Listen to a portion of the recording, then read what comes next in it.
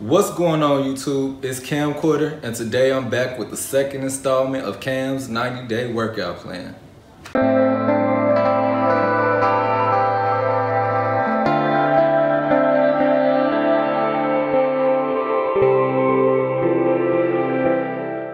So you might be wondering why I'm on here with the guns out and everything.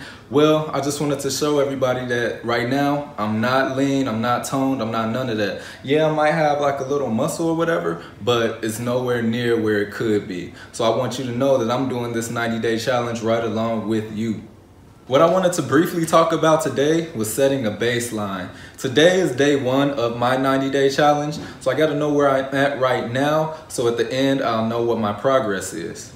The two metrics we'll be dealing with are your weight and your body fat percentage. Firstly, you'll need a pair of calipers, a scale, and a partner. All right, so the first measurement you want to take is at the pec area. So using your thumb and your forefinger, grab the subcutaneous fat. So that's basically just the skin. And you want to see what that measurement turns out to be. Uh, mine is about two millimeters, so not a ton of fat around my pecs. Um, you take another two measurements and you get the average. The next area you want to do is one inch away from the belly button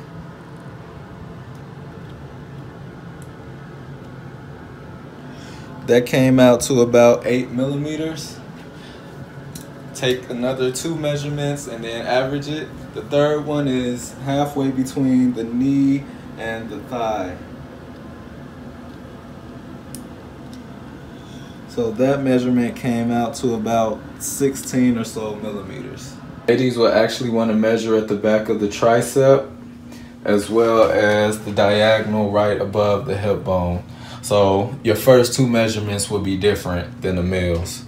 So after you calculate those three measurements as well as your body weight, plug them into the calculator at the website listed below. We'll be using the Jackson Pollock 3 caliper method. What you'll get from this is your body fat percentage, your body fat weight, as well as your lean body mass.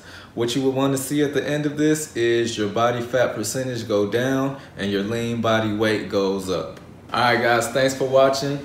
Uh, be sure to look out for my upcoming videos. I'll be talking about the meal plan and then finally get into the actual 90 day workout routine. So bear with me. I'm new to video editing, so this stuff takes a long time to do. So I'm just trying to get it out there as fast as I can. Thanks for watching.